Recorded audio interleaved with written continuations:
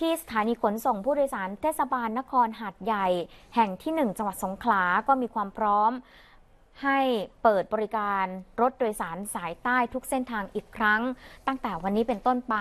โดยกำชับให้ผู้ประกอบการคำนึงถึงความปลอดภัย และสุขอนามัยของผู้โดยสารและพนักงาน ตามมาตรฐานที่กระทรวงสาธารณสุข และกระทรวงคมนาคมกำหนดทั้งการเว้นระยะนั่งหรือยืน